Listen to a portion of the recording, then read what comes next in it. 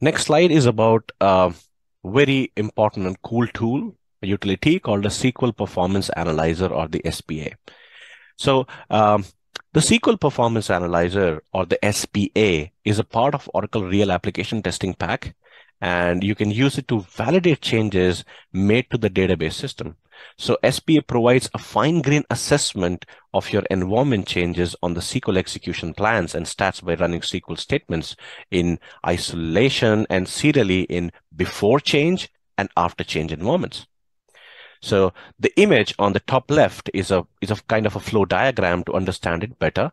So it first captured the SQL tuning sets, runs pre-change trials and make the change for you for the SQL statements. And from that point, you have two options to choose, either implement tuning recommendation or you run post-change trials and then compare the SQL performance, study the comparison reports, and that will prepare and then implement the best possible solution of the tuning recommendation.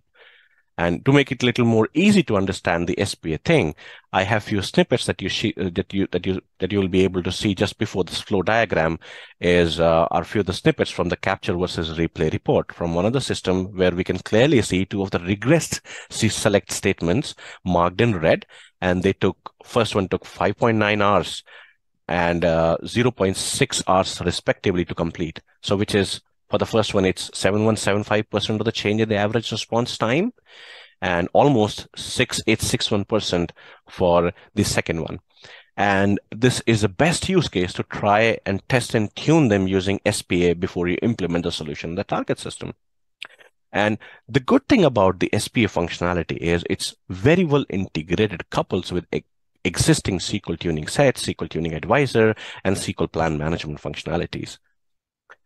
I guess uh, it will be good to explain it through a quick demonstration, a quick demo, a short video that I have prepared uh, just to show you how this SPA thing works in conjunction uh, with the SQL Tuning Advisor and how it can save all of those performance nightmares and can help us to avoid SQL performance degradations, which might happen on the target database after the moment. All right, so this is the performance hub page and here if you see like this is one of the SQL that's very heavy or costly in terms of CPU usage.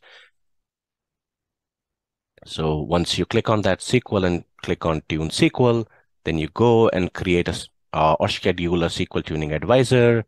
And once uh, you click on the submit, then it's where you started doing the work. It's create a new SQL tuning set for you. Uh, just give me a second. Uh, hmm. All right. And once that part is finished, then uh, it's basically giving you two recommendation. First is either you can go and create a SQL profile or else you can create an index. These are the two automatic recommendations given by the SPA. And uh, now, after that, you have two options. If you want to implement this, this uh, finding, this recommendation, or you want to validate it with the SPA, the second tab, if you see here, right? So before going and implementing any of these two solutions, like for example, we are not sure if the SQL profile will give us any benefit. So for that, it's, uh, you know, it's, it's a risky to implement, right? So we'll go and validate with the SPA. So I'm going to click on that option and that will take you to another page. And uh, so if you see like success to submit your validation SQL profile using SPS, so that has been successfully submitted. And next it will basically do some comparison. And uh, once that comparison is completed, here you'll see it has performed several trials uh, of this SQL statement in the current existing environment. Sorry.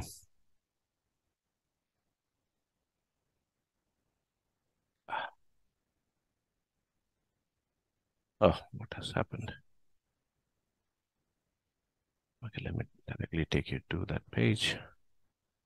Uh, yeah. All right, so once uh, the trials are successfully completed, and uh, the next thing, it will provide you the result. Here, if you see, this is the final result, and it says um, that that that's not a good idea because if you check this regressed impact, regression impact, it says minus 873%. So it's not a good idea to go and implement or create the SQL profile. That's what basically will worsen the situation and will not improve the SQL performance, right? So uh, it's good. Like it also giving us few recommendations. Like if you want, you can go and create a SQL plan baseline, or if you want, you can rerun the SQL tuning advisor, or if you want, you can create the SQL tuning set again. So here at this point, so it's it's clear like um, out of the two recommendations that SQL tuning advisor gave in the beginning, first is to create a SQL profile is not a good idea. So maybe we can would like to try with index creation if that will help us to solve this, this performance issue with the SQL.